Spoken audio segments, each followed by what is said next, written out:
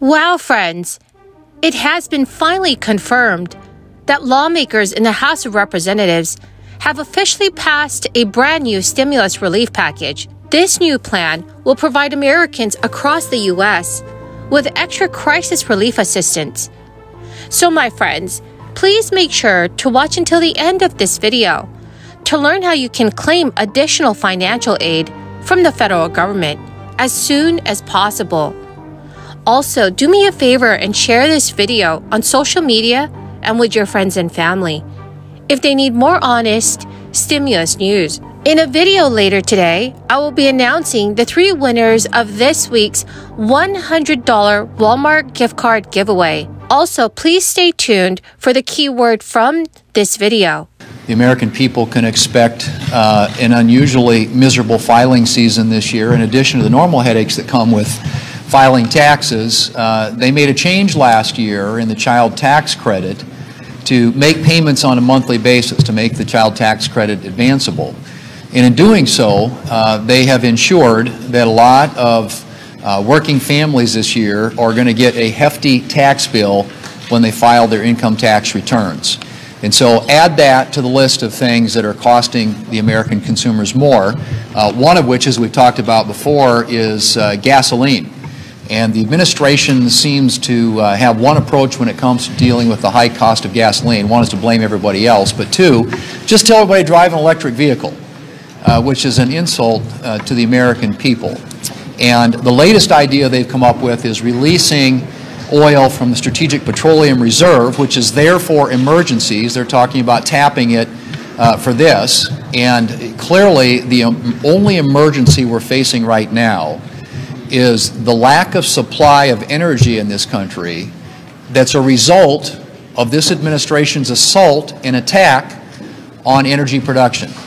And so the only way to fix what is ailing people in this country, and that is high gas prices, is not these gimmicks that the administration continues to come up with, the latest of which is to borrow from the Strategic Petroleum Reserve, which is our emergency again.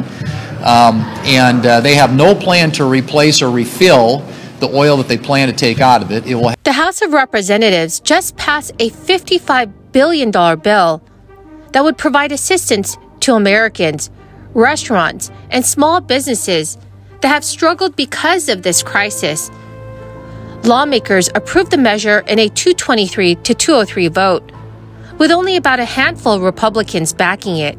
A large chunk of the bill, which is $42 billion, would replenish the Restaurant Revitalization Fund, a grant program launched as a result of the American Rescue Plan, which President Biden signed into law last year. Nearly 300,000 restaurants and bars applied for grants through the program last year, and this is according to the Small Business Administration. But only a third of applicants received relief. This legislation would also provide $13 billion for other businesses affected by this crisis, and it would establish oversight and reporting requirements to ensure grants are awarded properly and to verify the use of funding. Democratic Representative Earl Blumenauer, who's a main sponsor of the bill, and Democratic Representative Dean Phillips said that today that more than 80% of the restaurants that did not receive grants have reported that they are on the verge of permanent closure. Citing a survey from the Independent Restaurant Coalition, they said at least 90,000 restaurants and bars have closed since the crisis started more than two years ago. So, friends, it is still unclear right now whether Democrats in the evenly split Senate will be able to win over at least 10 Republicans to overcome the 60 vote threshold to end any potential filibuster and pass the measure. Many economists have said that it is likely that Republicans will agree to this bill this month. According to the Small Business Administration, which handles the fund, restaurants and other eligible businesses can receive funding equal to their crisis related revenue loss up to $10 million per business and no more than $5 million per physical location.